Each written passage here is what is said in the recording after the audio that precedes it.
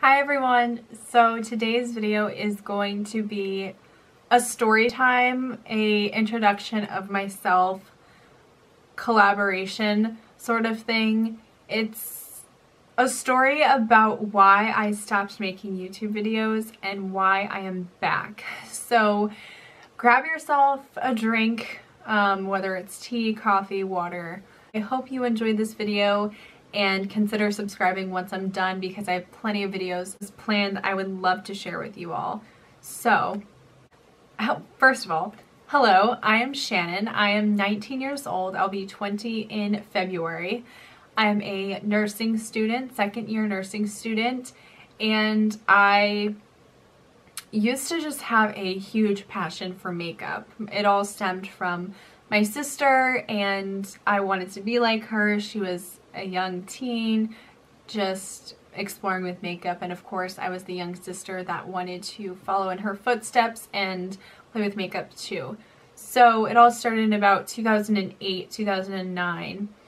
Um, we used to go to MAC and buy makeup when we were on vacation in Maine and we would go to the MAC counter and that was like our thing to do. Over time, I collected makeup and I wanted to do YouTube. I watched many people like Petrilude, um, Mac NC40, Laguna something, Michelle Phan was one of my favorites. I loved her. I would watch her videos and write down on a piece of paper every product she used. And of course it was all Lancome and so expensive and I couldn't afford it. I was nine years old, eight or nine years old. Um, but I just, I wanted everything she had. I just, I absolutely idolized these people.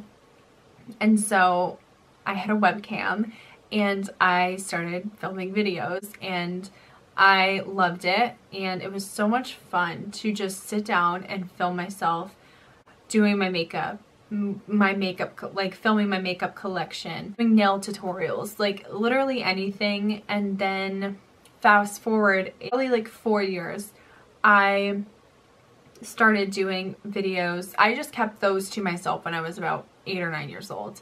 And then when I was in middle school, I started filming videos and posting them. My, my friend Rachel and I um, started posting videos together and Brianna as well. And we all started making YouTube channels and posting our videos and it was so fun. It was like I'm like getting excited thinking about it. Like we would do Mac tutorials, we'd do hauls together, we did like a baby food challenge together. You know, I had all of these plans of things I wanted to do. And we would go over each other's houses and help each other and again film together. It was just like so much fun. It was just like a little hobby that we had. That's where it all started.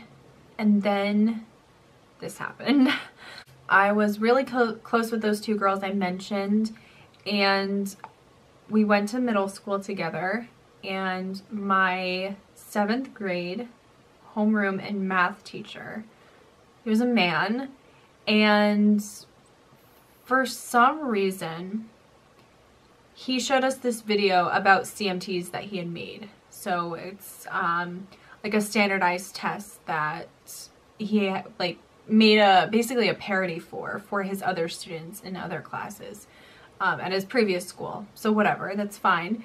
And he showed us that and we all laughed and it was great. And then one morning I walk into class and I was sitting at my desk and it was before class had officially started. So the class was already full and I sat to the very right and his desk was to the very left. So he's like, Shannon, come here.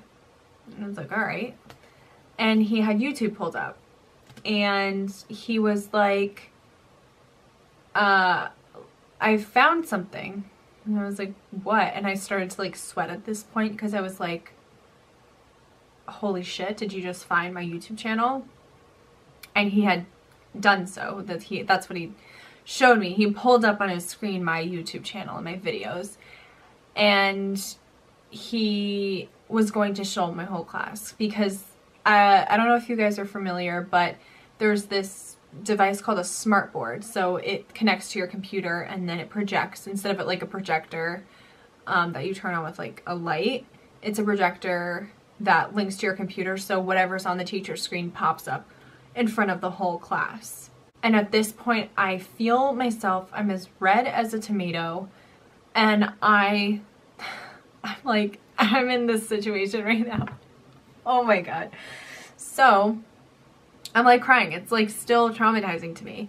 So, I'm like shaking and sweating, and I'm like, don't, please don't, please don't, please don't. And I was just like begging him to not show the class and I swear to God he was going to click the button and I just ran to the bathroom and I cried. I just cried in the bathroom and I just stayed, I can't even tell you how long I stayed in that bathroom. I think it was the entire period. I really cannot remember if he had apologized or if he had talked to me afterwards. I cannot remember if he apologized for it or not, but that situation scared the shit out of me because I was so scared that everyone would find out and then I had people texting me, do you have a YouTube channel? And I would lie and I would say no. Um, I was so embarrassed and scared. And that's so wrong. Like now I'm, that I'm thinking about it, like that was a hobby that I loved to do. And the fact that I let my professor, my professor, my teachers scare me out of doing something that I really love, um, that bothers me. And it's the reason why I'm coming back 10 years later and trying it again. So here I am. I've really worked hard. I'm like trying to get, like, collect my composure here. I've done a lot of like self-reflecting and I've been on the self-love and self-acceptance journey for about three years now over the last year, my big goal is to not let fears hold me back from life anymore. Fear is such a horrible thing. Fear of failure, fear of the future, which causes anxiety. Like, I just need to be free of all of that. This is one of the ways I am breaking out of that. So I've certainly worked on other things that I've been fearful of and healing from those things, learning from those things, and just again breaking free from my fears because living in fear all of the time is an awful feeling. It's it's like um it's like you're in this cage and you're just being controlled by what scares you. And if you're always scared of the unknown or whatever, you're I feel like you are never going to get to where you want to be if you're constantly living in fear and not just like you or if anyone but I'm talking like specifically about myself. So if I'm constantly living in fear, I'm never going to get to the places that I would like to be. And um and that's sad because I just think of what I could be doing if I had continued to do YouTube over the 10 years and not necessarily that it would be like my job, but just the difference I could have made. But I also feel grateful that I'm starting now because I have grown so much as a person and I'm not just saying that lightly. I truly mean it. I've done a lot of, again, self-reflecting, learning about myself, being raw and, you know, ugly with myself um, as far as like facing what what my negative characteristics were, what my um, what do you call it? The character flaws or whatever. I'm not putting my finger on the exact word I want, but you know, my flaws, I've faced them and I am currently and consciously working through those things. So for example, my patience. I was a very impatient person and it stems from, you know, insecurity and it all stems from within. So I've worked so hard to become a person that I'm proud of and become a person that I truly want to be. I had to face my insecurities, my trauma, my hurt, and really get to the root of what broke me. And then I was able to rebuild myself by doing so, I had to face fears. I had to face fear in the face and learn from it and work through it and it's gotten me to this point.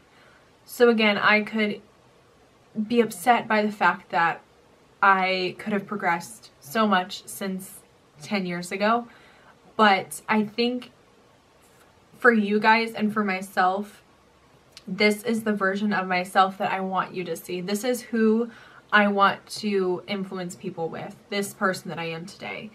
And that doesn't mean that I won't grow or even become better, a better version of myself, but that's what I've been working towards, being a better version of myself day in and day out. And being honest with myself, being brutally honest if if that's the case, if that's, you know, the terminology you want um, to use. And just facing everything that scares me and not letting it scare me. So basically conditioning myself to work through things that once scared me. And I don't what is the worst that can happen? You know, I I did a few things over the summer where I'm like yeah, like this could happen, but this could also happen. And you know, something that scared me and kind of was apprehensive about ended up being one of the best experiences of my life and I met some really great friends by. So certainly there are places and times where you should be, you know, a little bit scared or apprehensive, but I no longer want fear to control my life and I want to do things that make me happy. And if playing with makeup or showing you guys how I do my hobbies like selling on Poshmark or consignment shopping or doing my everyday makeup tutorial, I want to do that because it fulfills me and there's plenty of other topics like my self-love journey that I think you and other people can relate to because I've heard other people's journeys and I certainly have benefited and grown from them. So while those don't may not be like my first videos I post, if you are interested in more of um, my deeper and and more heavy discussions, certainly let me know because I think I've gotten to the point where I'm comfortable talking about it and um, I definitely again think it could help even if it helps one person I want to share that so um, again I think it's a little bit too much too soon but certainly I can do that when the time is um, is ready